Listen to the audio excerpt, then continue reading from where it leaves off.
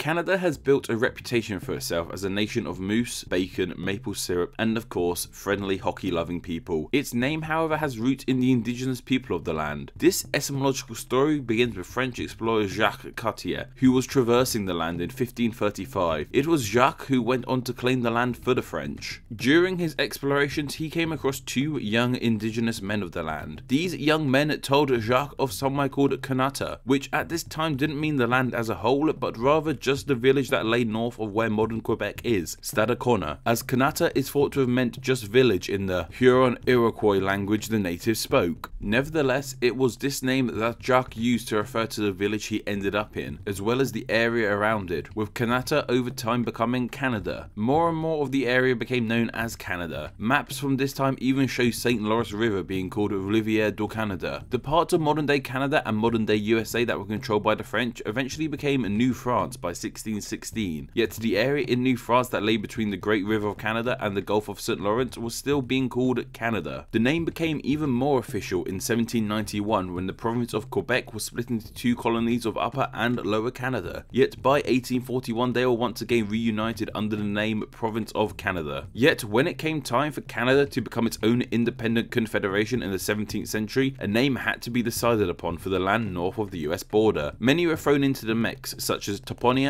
Norland, and Hochelaga, and even Britannia. One of particular interest is Efisga, which might seem like an incoherent mess of letters, but is actually a combination of the first letters of the people with settlements in the land. The English, French, Irish, Scottish, Germans, and of course Aboriginals. But like I said, the name is an absolute mess, so it didn't stick. It was a man by the name of Thomas D'Arcy McGee, seriously, like what an amazing name, who fought for the already established name of Canada to be the name for the entire country, as at the time it was just the name of one of the provinces. He asked the question of how others would feel if they woke up some fine morning and found himself instead of Canadian, a Tuponian or Hochelander. With this new perspective, on July 1st, 1867, the province of Canada, Nova Scotia, and New Brunswick became the single nation of Canada. The country of Canada was suggested by Stephen Lapointe and Christopher Perez over on Patreon, and thanks to their suggestion, they will now be honoured as Name Explain's patron saint of Canada. If you want to become a Name Explain patron saint, then why not support the channel over on Patreon from a dollar and up, and suggest a country for the next patron saint video.